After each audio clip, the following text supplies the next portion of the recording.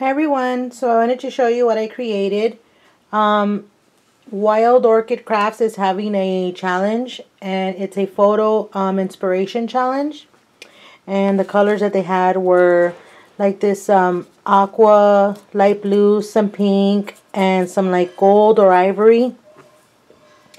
So this is what I came up with. I used the Graphic 45 um, A Lady's Diary papers.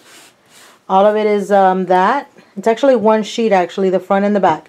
This is one side of the sheet and you can see the bottom there a little bit. That's the other side of the sheet.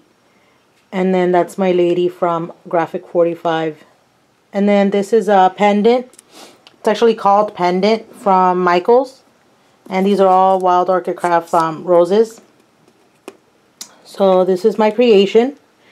This is uh, like a Valentine's box. It's a wooden box my inside I put lace in the bottom then I have like a peach pink paper solid paper another graphic um, another lady's diary picture with more wild orchid craft uh, roses and this is the other side of the paper.